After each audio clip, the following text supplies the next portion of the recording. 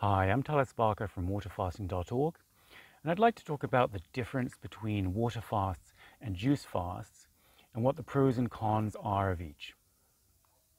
So, to begin with, let's begin by defining both. Uh, the essence of a water fast is that you're ingesting zero calories. And what this means, of course, is that you're going to be drinking water, but it doesn't necessarily mean that it's exclusively water. So, for instance, herbal teas can fit perfectly well into a water fast, um, especially if this is one for physical healing. Uh, fasts which are designed to go deeper spiritually will often exclude this just to focus on the water. But herbal teas have no calories, so in terms of the physical effect on the body, they're perfectly acceptable as well. Juice fasts, on the other hand, obviously mean that you're going to be taking on board some kind of calories. And uh, juice fasts, in that sense, breaks an old tradition in which uh, the word fast really refers only to zero calories. Traditionally, juice fasts would have been called juice diets because diets obviously involve calories. But just for the sake of ease right now, I'm going to refer to both as fasts. Juice fasts, in terms of what they consist of, uh, there's a huge range. Could be fruit juices, could be vegetable juices, and into the whole general category of juice fast would also fit certain protocols which involve drinking soups. So, for instance, a famous example of this would be the Buchinger fast. Um, there's really a wide range of possibilities here.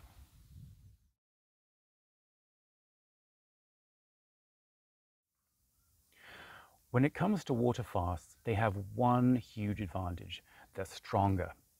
And there are a couple of reasons for this. First, uh, ketosis during a water fast is going to be stronger than during a juice fast. Ketosis, of course, is the metabolism by which we burn fat cells, and in doing so, we release the toxins which are locked into those fat cells. On top of this, the fact that you're not ingesting any calories at all means that your digestion can switch off much more fully. And in doing so, you release extra amount of energy which can go to healing. It's said that up to about 30% of our daily energy needs are absorbed simply through digesting our everyday food. If we're not digesting any food, that can all go to cleansing and healing. Um, now, when we compare this to juice fasts, especially when it's a question of fasting for illness, this means that you're going to pack a much more powerful punch.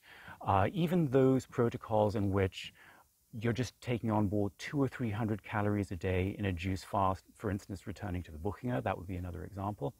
Those two or three hundred calories per day means that your digestion has to stay uh, alive and awake, and that will take away from energy which could otherwise go to healing the strength of a juice fast is uh, important, but it will never come close to that of a water fast. And my own story kind of illustrates that. After doing my first water fast, I just never went back to juice fast because I could feel how much more I was getting out of the water fast. Now, the strength of a water fast, as much as it's its own advantage, is also its disadvantage in that it's simply too strong for certain people.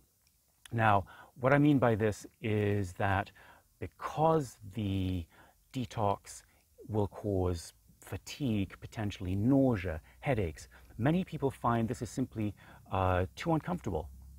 And as a result, they're likely to break off their fast uh, compared to, let's say, a juice fast, in which there are fewer detox symptoms.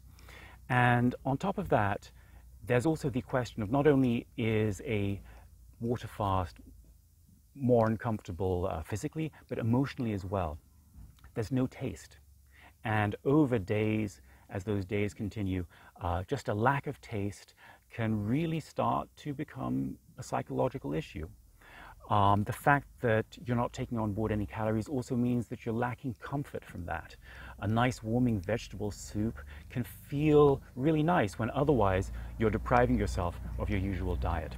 So if you're not ready to go whole hog effectively and, and face detox symptoms uh, at their fullest strength, then water fasts potentially lead to uh, a big problem and, and they just simply become impossible to carry through.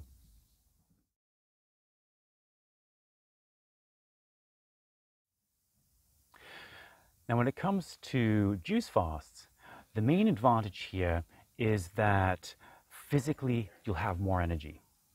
And a lot of this depends on the particular type of juice fast that you're doing. If you're doing a fruit juice fast, for instance, a citrus fast, perhaps orange juice, you can be provided with almost as many calories as you would in everyday life. And those calories coming through simple sugars can just power you through the day on a big sugar high. Uh, I don't mean this in any derogatory fashion here. Uh, a juice fast like this is highly cleansing and healthy, um, but they're much easier to get through. Not only that, but um, emotionally they're easier. I've already mentioned with regard to the water fast, the fact that uh, no taste, no calories can work against you. Well, obviously the opposite is true with a juice fast. You do have taste. You do have calories to provide comfort.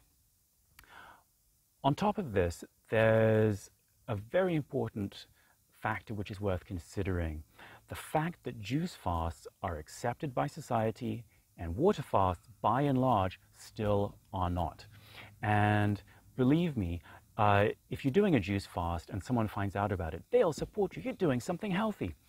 Whereas if the same occurs with a water fast, it's more likely that you're going to meet resistance. Why are you doing a water fast? It might cause your organs to shut down. There are so many misconceptions still around a water fast that you end up using quite a lot of energy just to calm people down and comfort them.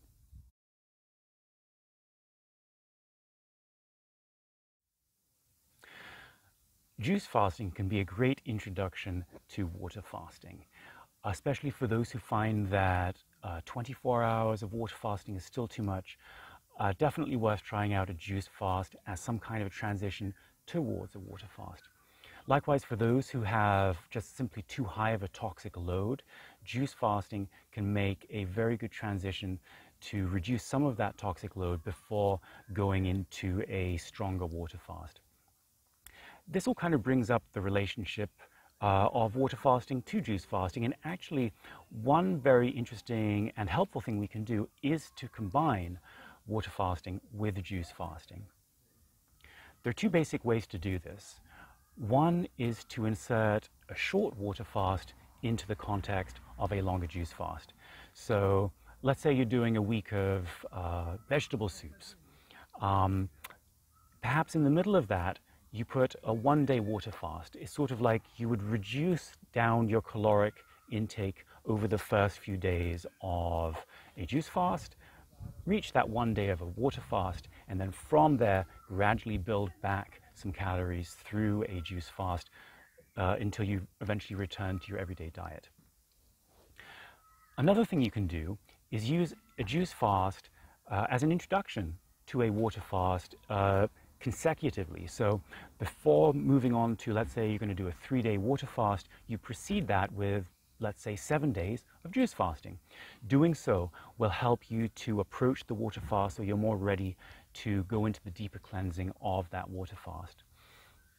Interestingly, uh, you can also do the opposite. After a water fast, follow that with a juice fast. And in fact, after long extended water fasts, that's what you should be doing anyway through your refeeding program. After a water fast of anything more than two, three days, you don't want to just jump back into your everyday diet. You need a transition time. And uh, it's precisely during this time that a juice fast can work very nicely. Fruits and vegetables are what you want after a water fast in any case. And of course, fruits and vegetables are precisely what um, a juice fast tends to consist of. So really there are a lot of alternatives. And the important thing I would stress is just to experiment, see what works for you, and the sky's the limit, really.